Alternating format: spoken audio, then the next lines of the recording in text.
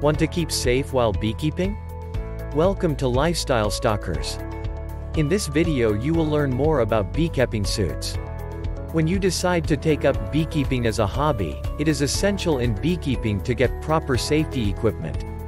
Before we start, make sure you subscribe to our channel, and click on the bell so you won't miss any of our lifestyle videos.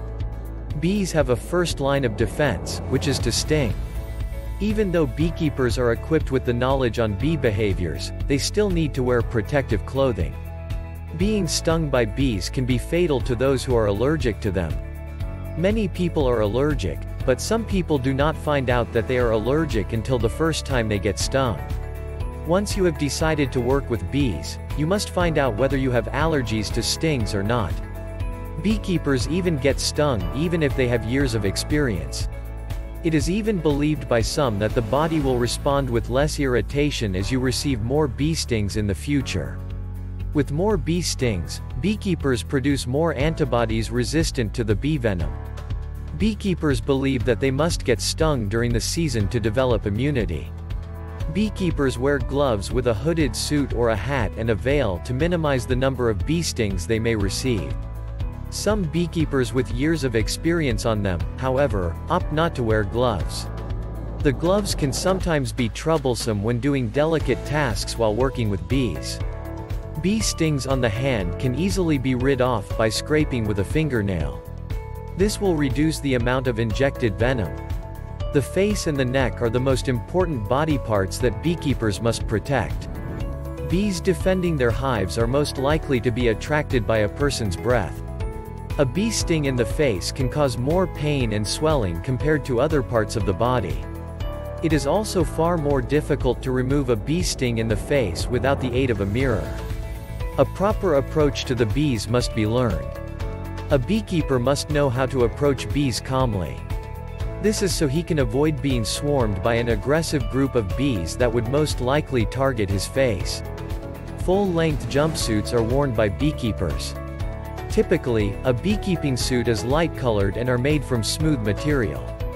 Typically, they are white jumpsuits worn while tending to the bees. The color worn by beekeepers differentiates them from the usually dark-colored natural predators of bee colonies like the bears and skunks. The suit can also be easily tugged when removing bee stings and venom sacs.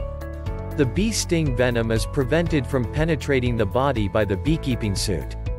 There is a need to wash the suit regularly after usage since the bee stings left in the suit will continuously produce alarm pheromones. This alarm pheromone will attract aggressive action and stimulate bee attacks. The hands may also be washed with vinegar to prevent the bees from being attracted to it. 3 Tips for Safety Equipment 1. Safety Equipment for Beekeepers. Again, Beekeepers have to wear suits that cover them and protect them completely from head to toe and that cannot be punctured by the bees, and through which the bees cannot sting them. Check out our video description to see the most recommended beekeeping suits. To protect their face, they have a mesh screen and also use smokers to calm down bees that have become very agitated. The smoker calms down the bees while the beekeeper gets the honey out of the hive. They also have to check that the bees are in their hives getting on with the honey making procedure and the only way they can do all of this is if the bees are calm. Beekeepers also have a crowbar to scrape the honey out which can be quite difficult to remove. The beehives are usually placed in secluded areas so that the bees do not become a menace to those who are moving around in that area. This is also to ensure hat the bees are not disturbed by too much of noise and human traffic which will antagonize them and make them swarm. 2. Beekeepers get their tools on the internet.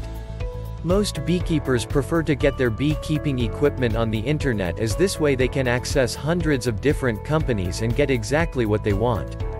The need among other things, tools for grafting the comb apart for scraping up the honey, comb cutters, special cages for capturing the queen bee, and many other things like containers for the honey. Honey is the favorite food of grizzly bears and beekeepers have to safeguard their bees from pests which could eat them up.